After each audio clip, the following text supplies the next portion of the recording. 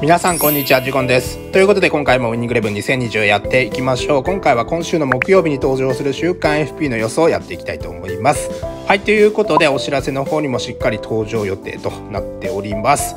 はいおそらく今週がラストになるんじゃないかなと思われるので、えー、どんなメンバーが選ばれるのか結構豪華になるんじゃないかなと思っております。はい、えー、今週がまあイングランドが終わったりとか、まあ、他のリーグも終わったりとかしたんですけど中国が再開されたりとか、まあ、結構ねいろいろあるんですけど、まあ、おそらく来週はイタリアだったりとか中国ぐらいしかやらないんじゃないかなと思うのでさすがに、ね、この2つのリーグだけだと週刊 FP 出せないと思うので今週がおそらくラストなんじゃないかなというところですかね。はいただしメンバーは結構まあ豪華になると予想されるのでその辺にも注目です。ということで早速やっていきましょう。はい、えー、まずは予想の答え合わせ先週分の方をやっていきたいと思います、えー、結果はこんな感じで、えー、11分の5でした。まあ6当てたいんですけどね。えー、当たったのがデフライとレギロンそしてベナスルあとメッシクアリアレッラかな。はい、えー、こちらの5人が当たったという形です。外れた選手見ていくとまずはアンドレス・フェルナンデスでした。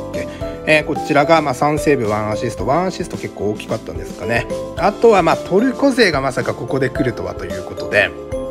えー、ビダが来て、えー、テクデミルが来てということになっています。こちらもワンゴールの活躍でした。はい。まあ、トルコ勢まさかの不選出ということで、まあ、おそらく今週はないんじゃないかなと思ってます。あとはフォワード陣。まずはロナウド。こちらは火曜日の試合から来たということでさすがにね、えー、自分は動画月曜日に出しているので火曜日の予想はできませんでしたが、まあ、ユベントス勢活躍次第では誰か来るかもという話はしていたのでまさか、まあ、ディバラかなと思ってたんですけどロナウドでしたね今回は。はい、えー、それからベンゼマということでベンゼマはなぜ来たという話なんですけど活躍特にまあゴールドアシストなく、えー、評価も6.4ということで、まあ、そんな高くないですよね。なんで来たんでしょうというところで、まあ、ただレアルに関してはね、えー、リーグ戦がまあ先週終わりまして、え、優勝もまあ無事決まってということで記念できた可能性もあるのかなというところとあと最後ケインですね。こちらはまあロリス予想していたのでトッテナムトッテナムで外したっていう感じでしょうかね。はい、えー、ということで、まあ、ラストなんでね、えー、今週こそ、まあ、6人、まあ、7人とか8人とかそれぐらい当てたいところですね。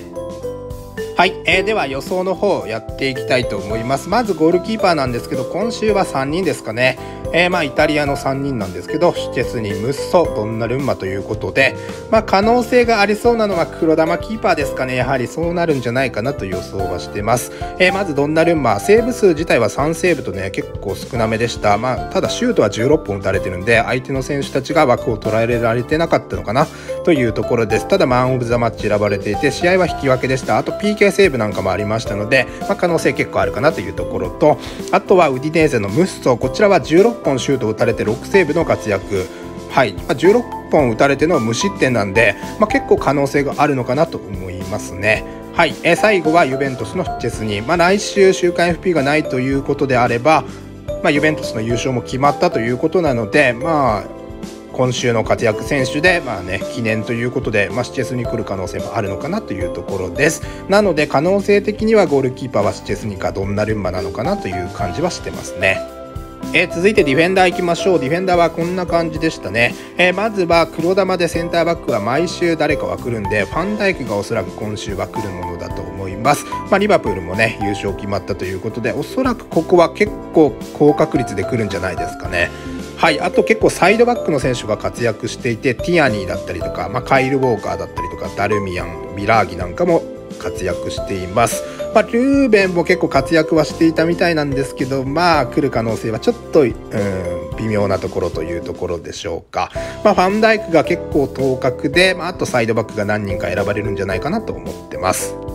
はい、えー、続いて中盤いきましょう。中盤はこんな感じ。まずはですね、まあ、デブライネ、えー、評価点満点でした。2ゴール1アシストということで、まあ、ここは来るんじゃないですかね。はい、まあ、確実に結構高確率で来るんじゃないかなと思ってます。で、その下、えー、フェライニ、えー、こちら、まあ、中国でプレーしてますけど、今回ハットトリックの活躍、試合自体はフォワードで出ていました。えー、評価9.9ということで、ここも結構可能性あるんじゃないかなと思ってます。今まで中国リーグで言うと、オスカルだったりとか、パウリーニョ、あとタリススカなんかも来ましたけど、まあ、結構有名選手はね来る傾向にあるのでフェラーニも結構有名選手だと思うんでここはハットドリックの活躍、まあ、中盤登録ですかねね言っても。はいまあ、来る可能性結構高いのかなと思ってます。あとはマウントだったりとかミリンコビッチ、サビッチ、まあ、プルがあればどうですかね試合自体負けているので微妙なところですけどこの辺が可能性あるのかなというところです。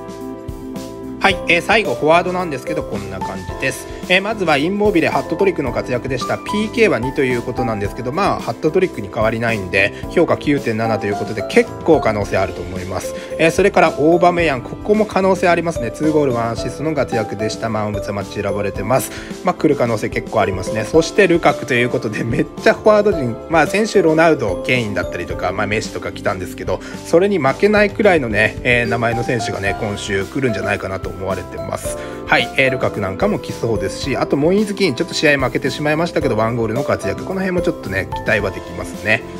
はいまああとは、まあ、ジェズスなんかもね可能性はゼロではないと思いますが、まあ、デブライネがいるんでちょっと厳しいかもしれませんけど、まあ、結構黒玉選手が選ばれるのかなと思うのでフォワードも結構豪華になりそうです。ということで今回の予想はこんな感じでいきたいと思います、えー、ゴールキーパーは結局スチェスニを選びました、まあ、ユベントス優勝決まったので、まあ、ここをね記念して、えー、来るんじゃないかなと思ってユベントスの方を選びました。あとはディフェンダーで言うと、まあ、黒玉キーパーじゃなくてセンターバックということで、まあ、毎回黒玉のセンターバック誰かは来てるんでファンダイクは来ると思われます。あとリバプールの優勝なんかもね絡んでますしね。あとはサイドバックの2人ボーンマスのディエゴ・リコとあとはナポリの被災ですね、まあ、この辺の活躍まあ悪くないと思うので来る可能性は高いと思ってますえー、中盤はデブライネ、まあ、ここは当確なんじゃないですかね。満点ですし、まあ、活躍悪くないと思うんで、えー、ここは当確だと思っていて、あとはフェライニですね。まあ、ここちょっと勝負枠というか、少しね、勝負を仕掛けていこうと思って、今回入れてみました。ハットトリック、活躍とかもね、文句はないと思います。はい、えー、最後はチェルシーのマウントにしました。一応ミリンコビッチ・サビッチなんかも一応考えたんですけどまあインモビでいるんでね。まあその辺考えて今回はマウントにしたという感じです。はい、えー、最後フォワードなんですけどまあインモービレオバメルカクここはまあ確実に硬いかなと思って入れたのとあとはちょっと最後に銀の選手クルセフスキーなんかも入れてみました、まあ、今回はこんな予想でいきたいと思います。はいということでここからは予想に挙げた11人の中から、まあ、あまり有名じゃない選手のね能力を見ていきたいと思います、えー、まずは左サイドバックのボーンマスのディエゴ・リコかな、えー、こちら見ていきたいと思うんですけど年齢は26歳ということでまあ育成はそんなにって感じですかね、えポジションはいろいろできますと。で能力的には今のところパスなんかは80超えますスピードはもうちょっとやはりサイドバックだと欲しいですかね。ただ身長183と結構高いんですね。えフィジカルなんかも一応80は超えてます。まあ、ディフェンスの能力も一応、まあ、レベマというか FP 化されることによって、まあ、一応80は超えてくるっていうことになるとは思います。ただ公安4なので、まあ、ライブアップデート、まあ、今週はおそらくいいとは思いますが来週以降はちょっと厳しそうですね、えー、スキルはインターセプトということで何か追加されるといいですね。はい、えー、続いてがエルセイド被災。エルセイドは今ついてるのかな？はい、まあ、被災なんですけど、こちらの選手は両サイドバックできたりとか、まあ、サイドが中心の選手になっています。身長は182と、こちらも高いですね。で、こちらはスピードは今のところノーマルレベルまで80後半ということで、なかなか高そうです。まあ、ディフェンスの能力も80超えていたりとか、結構いいですね。スタミナも90ありますと。後半5ですね。えー、スキルに関してはこんな感じ。ピンポイントクロスと闘争心しか持ってないので、まあ、今回、まあね、えー、活躍で何か追加されるといいところですね。はい、えー、続いてがフェライニ、まあ、こちらの選手は、まあ、結構有名選手ではあると思うんですけど、まあ、ポジション適性つける必要もないですし、まあ、身長が194でフィジカルが97あとアグレッシブナスなんかも、えー、95と結構高いんですね。この辺は特徴になりそうです、えー、逆足使えて後腕が6ですね、えー、プレイスタイルポストプレイヤーということで一応 CMF 登録なんですけどポストプレイヤー持ちですね。はい。まあ、スピードなんかはちょっと遅めと、まあ、足元なんかも少し低い部分もあるので、まあ、その辺の強化されるか、まあ、どれぐらい上がるんですかね。32歳なので、まあ、そんなに上がらないかもしれませんけど、まあ、無印でね中盤で使うこと、えー、使うことができるんで、まあ、その辺もいいところかな。スキルに関しては4つついてます。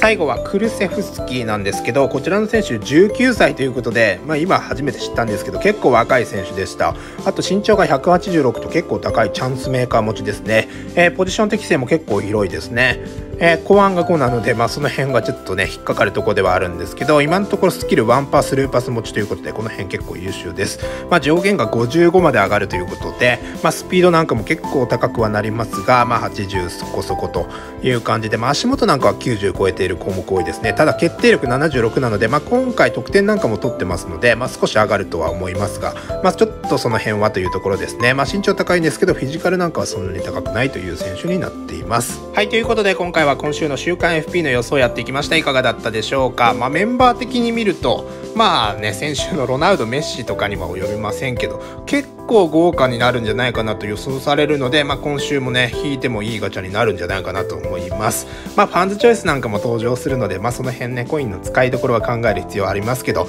まあ週間に関しては3回までしかね引けないのでまあそれ以上が引けないということでねそういう意味でもコインのね、えー、使いすぎっていうことはないと思うんで、まあ、その辺は考えてもいいのかなと思います。え、こちらのチャンネルではこのように週間 FP の予想だったりとかウィニングレブン2021関連情報なんかもね紹介していますのでチャンネル登録まだの方はぜひチャンネル登録高評価や Twitter のフォローなんかもよろしくお願いいたします。ということで今回の動画はここまでです。ご視聴ありがとうございました。